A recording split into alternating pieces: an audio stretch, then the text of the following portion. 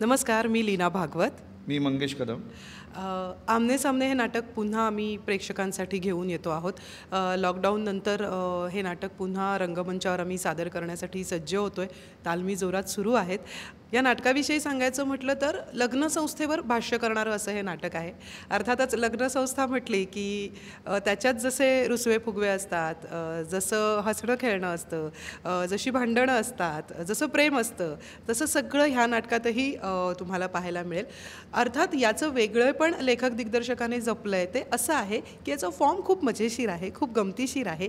लग्नाला अडतीस वर्ष ज्यांच्या पूर्ण झाली आहेत असं एक कपल दिसणार आहे आणि त्याचबरोबर नुकतंच नवीन प्रेमात पडलेलं लग्न झालेलं असंही कपल तुम्हाला यात दिसणार आहे. अर्थात अडतीस वर्ष झालेली असू देत किंवा दोन वर्ष झालेली असू देत दोन महिने झालेले असू देत लग्न अशी जेव्हा संस्था तुमच्या आयुष्यात येते तेव्हा त्या अनुषंगाने होणारे चढ उतार गमती जमती ह्या सगळ्याच अध्यारूत असतात. आणि हेच सांगणारं असं आमचं नाटक आहे. आणि ऑलरेडी या नाटकाने प्रूव्ह केलेलं आहे. म्हणजे झी पुरस्कार या नाटकाला मिळालेला आहे. नंतर मटा सन्मान या नाटकाला मिळालेला आहे. त्याबरोबर उत्कृष्ट सहाय्यक अभिनेत्री उत्कृष्ट लेखन उत्कृष्ट दिग्दर्शन उत्कृष्ट अभिनेत्री यांनासुद्धा पुरस्कार मिळालेले आहेत. त्यामुळे ऑलरेडी हे नाटक टीकाकारांनी पत्रकारांनी समीक्षकांनी आणि अर्थातच प्रेक्षकांनी सुद्धा हो. कारण ज्यांनी ज्यांनी बघितलं आहे ती ती माणसं परत परत ह्या नाटकाला येतात. दुर्दैवाने आपल्या सगळ्यांच्याच की कोरोनाच्या काळात आम्हाला सलग ह्याचे प्रयोग करता आले नाहीत. म्हणजे पहिल्या ह्याच्यामध्ये प झी अवॉर्ड मिळाला लॉकडाऊन झाला. परत नाटक सुरू झालं मटा सन्मान मिळाला परत लॉकडाऊन झालं. म्हणजे प्रॉपर वेनी आम्ही तुमच्यापर्यंत आलो नाही पण आता ती संधी आलेली आहे. त्यामुळे या संधीचा तुम्ही फायदा घ्यायचा आहे.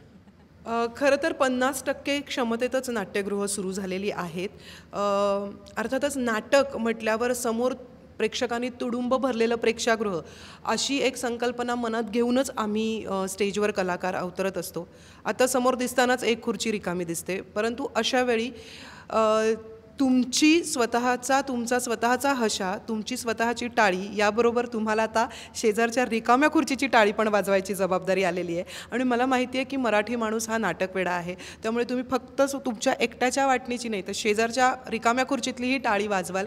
कारण ती तुमची टाळी तो तुमचा लाफ्टर हे आमच्यासाठी ऑक्सिजन असतं. आमच्यासाठी आमचा प्रयोग खुलवण्यासाठी ते खूप गरजेचं असतं. त्यामुळे सगळ्या प्रेक्षकांना मी विनंती करेन की आत्ता रंगभूमीवर आमने सामने तर आहेच पण रंगभूमीवर जी जी नाटकं आली आहेत ती प्लीज आता प्रेक्षागृहात या आणि तुम्ही बघा. कारण तुमच्या मदतीशिवाय आता मराठी नाटकाचा कलाकार उभं राहणं हे फार कठीण झालेलं आहे. त्यामुळे आत्तापर्यंत जसं आमच्यावर प्रेम केलं तसंच प्रेम करा आणि प्लीज आमने सामने या नाटकाला या. धन्यवाद. मम एवढंच होतं ते. धन्यवाद म्हणजे.